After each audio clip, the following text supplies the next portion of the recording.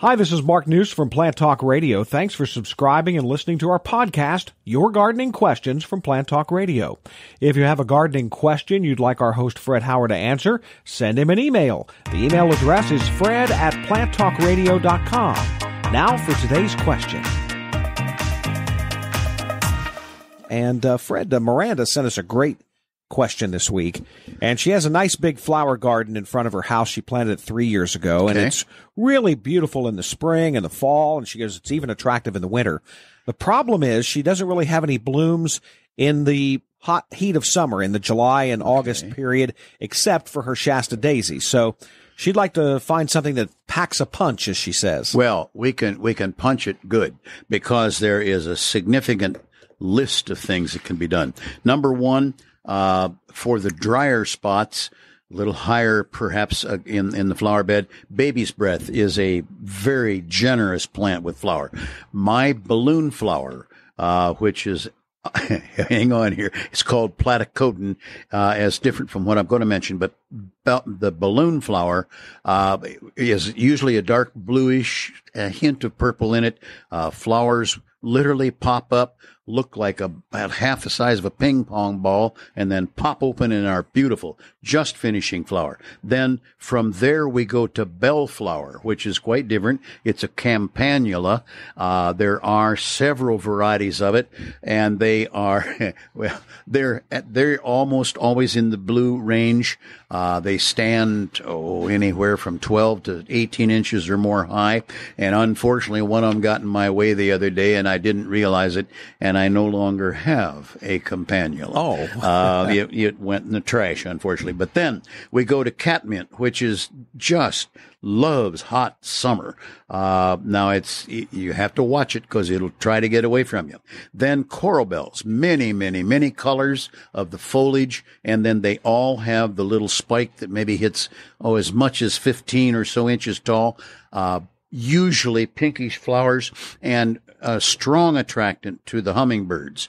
Cranesbill. Now, the cranesbill is the actual geranium uh, as a perennial. What we call geraniums are are something very different. So, cranesbill uh, is the main thing to look for, but it is a perennial geranium. Dahlias, both the annual types and the perennial types. Now, uh, both will need to be planted each year. The little annual stays at 18, 24 inches in height. Then the, the dinner plate dahlia is six or more feet tall. Fantastic big flowers. Delphinium. There are many, many colors of delphinium. And then right along with that is the larkspur, which is uh, very similar, but technically different.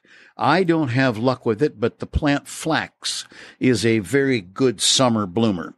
I love them, but I don't have the right drainage, uh, at least where I've tried them. The little plant called heliotrope. Now that will be an annual that you'll have to plant. Then for the shady spot, of course, hosta, uh, oh, 1500 varieties minimum.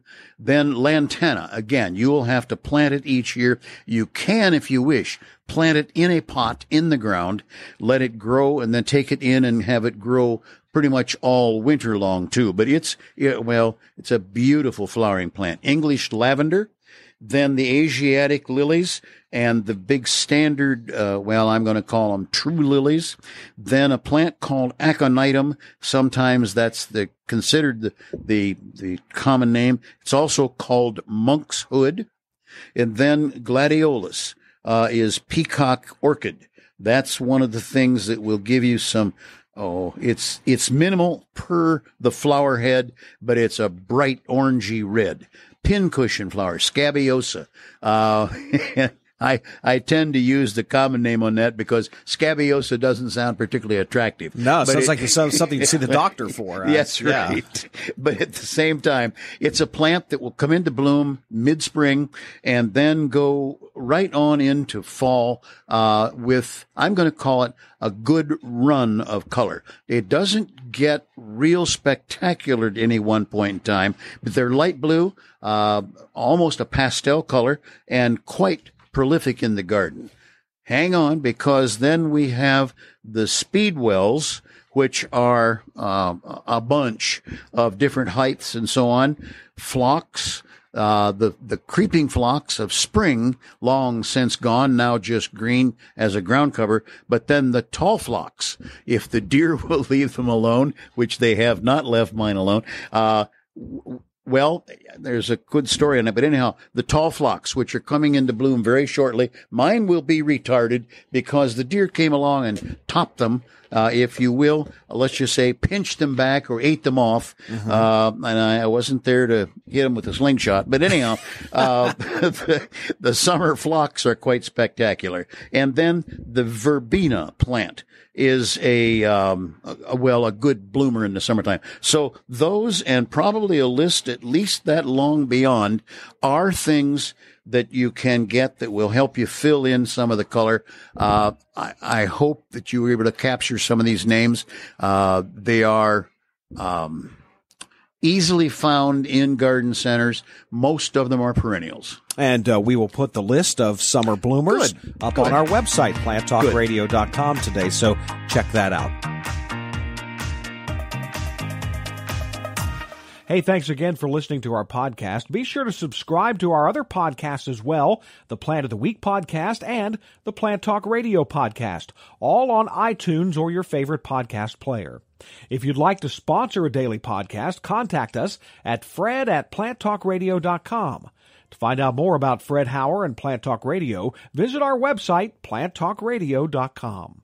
We've had a lot of questions about how we started the Dollar Saving Divas and why we do this. I know. Well, I'm Kelly. And I'm Leslie. And we are the Dollar Saving Divas, but we do more than just dollar saving, saving, tips. But we started talking about this. It was 15 years we ago when we work used together. to work together. Mm-hmm. And I, I just remember we, we started it because we both like the same kind of food. Yeah. So we would go in, in search of the lunch every day. Lunch every day. Let's find the best chili. Let's find the best crab cake. Remember, we right. would just go place to place, and we would compare. And it was just our it was our fun little lunch break every it was, day. It was a joke that, that we said, you know, we ought to do this sometime for like a radio right. show or and we both at the time we both had young kids and so we were trying to find ways to you know even cut costs and still provide all those things that you want to provide for your family well and, and live even, within your budget and and you know we used to I used to do a lot of events and marketing so you know we we've done everything from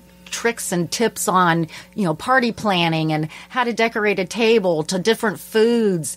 I mean, we've traveled around the community to lots of different yeah, we discovered some things in the community that, you know, we didn't know were there. We thought, well, gosh, other people should know. Exactly. Shopping, great shopping places. We even we even went took a vacation to Naples, Florida, which right. I, I think we should do more of that traveling. Oh, absolutely. Yeah, yeah, we should do more. I think that. some international would be good. But I think it's just it's a lot of our life experiences a lot of life. It's a lot of a life. Lot of life experiences. We're not going to say how many combined, but sharing I, that with other people. Yeah, I don't want to say we, we, could. You know, together it would be like no, we're not going to say okay, that. I'm not even going to go there. I think it's really funny when we're now actually going and looking for sponsors. I mean, people are actually following us, and they're you know, I know it's, we.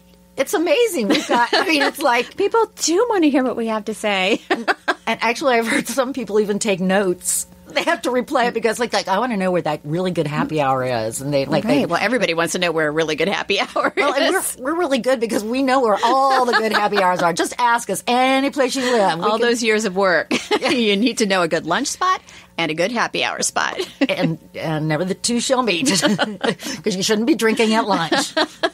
but it's just been really fun and I, I think we're really expanding the things we're doing which is which is you know i never thought that people would actually listen yeah. to us. Well, I think that's the fun part is we are doing what's fun to us. Exactly. So it's not like it's work. Right. We're just having a good time and and talking about it. talking about, and maybe we shouldn't be talking about some of the good times that we well, have. right. Probably a little censorship would be good. well, I think we, you know, we go bleep, bleep in between things. That's why these podcasts are really 20 minutes, but we edit them down to eight. yes, because yeah. there's so many things there's that should go in there. Yes, yeah. bleep, bleep. You know, it's like that. What is it? What do they do on the um, on TV? You know, it's like the the, right. the lag time or the yeah exactly yeah. we have to have a th- 10 second delay that's it a 10 second delay but we've really had fun and so I hope people continue to listen to us. Yeah. And if you know what, and if people have things that they thought would be, make a good podcast, they really ought to, you know, contact us. Let us know because we're always open to new adventures. Yeah, but do they do they include travel, food, and and drink? alcohol? yeah. we're down. We're good to go.